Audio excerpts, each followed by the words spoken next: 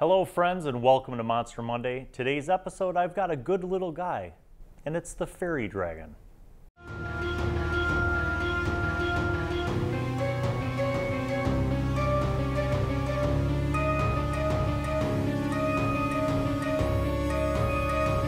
Fairy dragons have been around for a while, um, and you know I've I've covered some things from the Feywild, but really fairy dragons um, are something that I haven't used a lot as a DM in D&D. Um, but this was a request from Jeremiah Torres, and uh, I thought I'd read into it a little bit. And it's got some interesting lore, and I've thought of some interesting ways to use fairy dragons in your campaigns and adventures and encounters.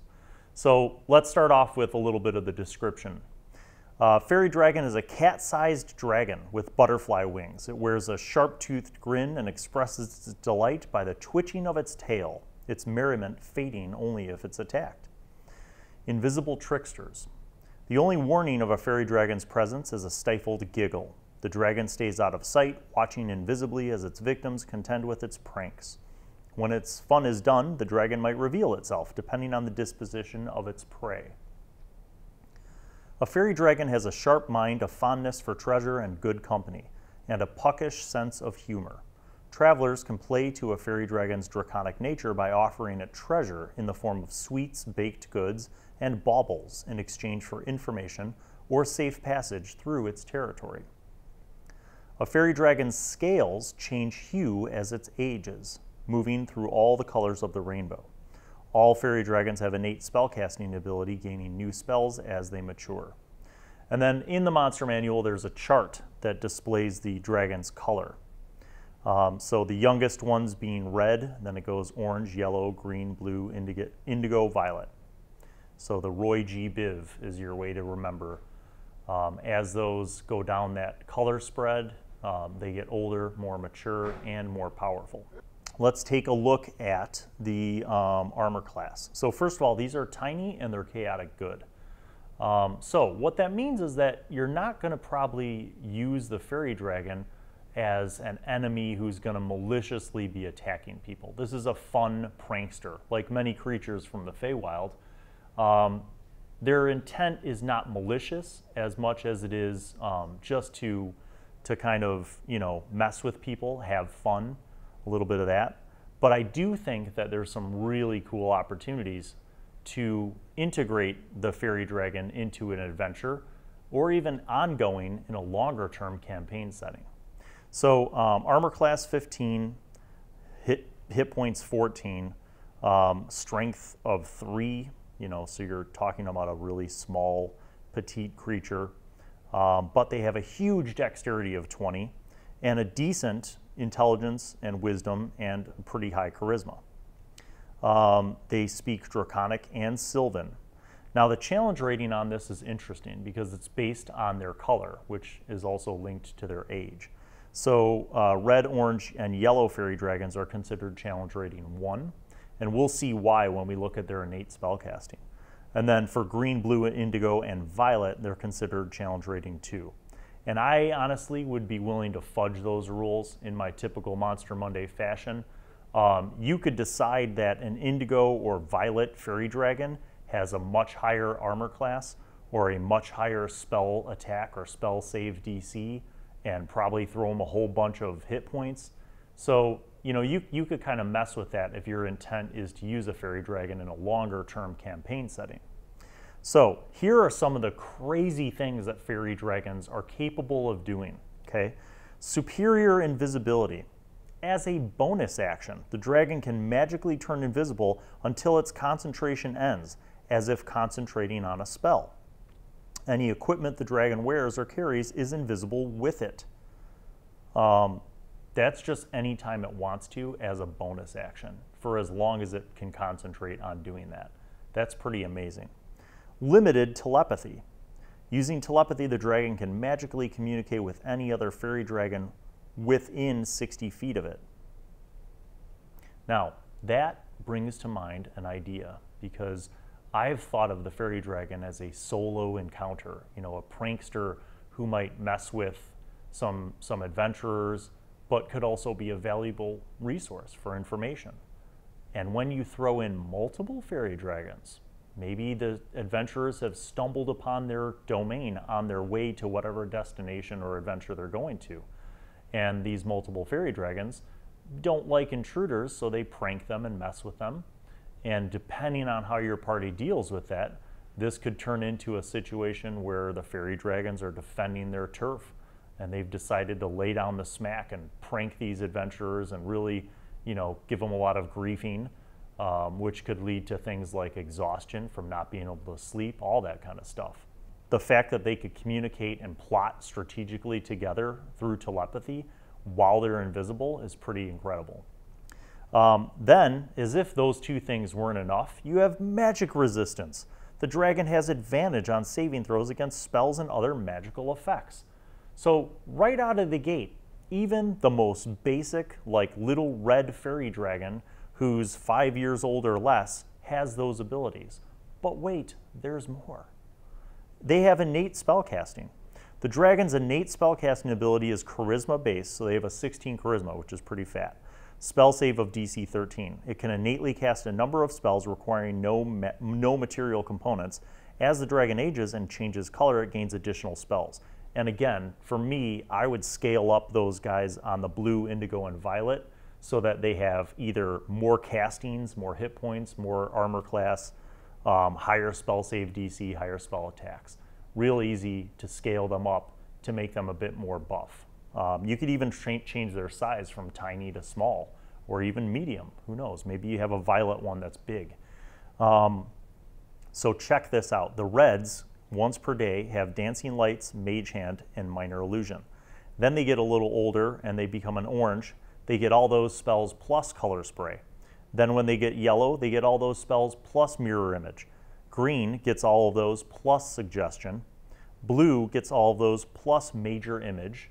So you see where this trend of tricksterism is? There's a lot of illusion magic contained in there. Um, but wait, when they get to indigo, they get hallucinatory terrain. That's a crazy mad spell that gives the DM all sorts of fun, um, especially if you describe it the right way so that the players aren't certain if what's happening to their characters is real or not. Uh, then at Violet, they get Polymorph, which again is huge. A fairy dragon could polymorph into any number of things that could become a whole bunch more deadly. Now, this goes back again to thinking about how you use this as a DM. You know, you're not probably going to throw a fairy dragon or groups of fairy dragons at your players that often. So make it count, make it part of the story. That's the key here. To tie this into your adventure arc, to make them valuable to the party, um, if the party is able to weather their storm of pranks um, and gain their trust. Because after all, they are chaotic good, chaotic, but they're also good. So they're not out to maliciously, you know, just rambling and killing any people who trespass upon their domain. Um, so there's a good chance that the party, if they play their cards right, could quite literally gain a powerful ally or multiple allies in these fairy dragons. Let's take a look at those actions. So they have a minor bite attack, um, which, you know, whatever. It's like one piercing point of damage. Kind of pointless, uh, especially with the profound amount of magic that they have. Um, then they have Euphoria Breath. So this is a recharge breath weapon. It recharges on a five or six. The dragon exhales a puff of euphoria gas at one creature within five feet of it. The target must succeed on a DC 11 wisdom save or for one minute, the target can't take reactions and must roll a d6 at the start of each of its turn to determine its behavior for the turn. And then they have a small chart. 1 through 4, the target takes no action or bonus action and uses all of its movement to move in a random direction. 5 through 6, the target doesn't move, and the only thing it can do on its turn is to make a DC 11 wisdom save, ending the effect on itself on a success. That's the jam right there because it doesn't intrinsically do any harm. And again, it kind of goes back to my feeling with exploring fairy dragons, even in, in other lore and other games and editions of games. is that they're not meant to be malicious or malevolent. They're, they're tricksters uh, by nature. So this way, the euphoria breath can can mess up a party without like injuring the party. So how do we take these cool little creatures and go beyond just a simple encounter? So if the fairy dragons know a way through a dangerous area and the party's able to gain their trust, what a valuable ally that's become for this adventure, right? Maybe the fairy dragon or fairy dragons decide to assist the party, but they need assistance, okay? Maybe there is some actual evil threat to the fairy dragon's domain. Um, pick a bad monster, right? Some dis- despiler, some defiler, right? Any number of the really truly evil, malevolent creatures who might want to obtain some dormant magic that is within the fairy dragon's area, right? The fairy dragons themselves might not be able to fight off that malevolent foe. But if the party is willing to help them, this becomes like a side quest, a side mission. Now, that could be as short or as long as you want it to be. Maybe the fairy dragons are willing to do much more than just guide the party through something. Maybe they're willing to unleash some secrets that they know that will help the party in return for the party's assistance in defeating these evil foes, whatever you pick, right? So that could be an encounter that leads to an adventure. Now here's my here's my killer part, right? Every time I'm reading through the fairy dragon, I can't help but think that what if this could be someone's familiar? Like imagine if you had an improved familiar who was your fairy dragon. Um, and I liken it to the pseudo dragon, but way more powerful in a lot of ways. Um, and I think, well, you know, you could do that as a DM. You could decide that somebody in the party could have a familiar who is a fairy dragon, but maybe maybe they have to have to like actually earn that fairy dragon's loyalty and respect first by doing something, right? Yet another side adventure, side mission, whatever you want to call it. Or maybe the fairy dragon isn't a familiar who's bound to the spellcaster. But you could have a fairy dragon become like an NPC who kind of joins the party. Maybe out of respect or loyalty because of the party's kindness and because of the party's compassion and their assistance with eliminating a, a malevolent, you know, evil foe who was threatening the, the sanctuary that the fairy um, dragon protected. I think this could be something that could be a part of your campaign group.